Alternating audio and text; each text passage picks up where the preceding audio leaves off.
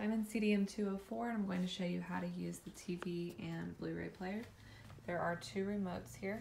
This one is for the TV and this one is for the Blu-ray. So you'll want to use this to turn on the TV, the red power button.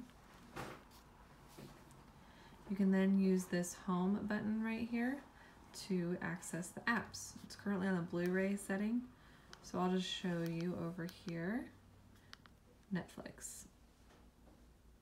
You can also hit home and go to live TV or cable.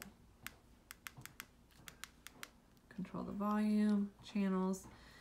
Then if you want to go back to the Blu-ray player, you can either go over here to source, up to Blu-ray. You can also, if the Blu-ray player is on, go all the way over on your home button.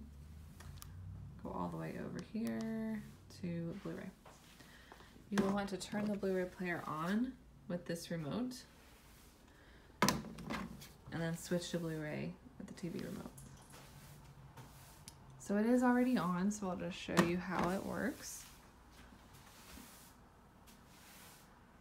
Here's the home screen, which you can access by hitting the home button.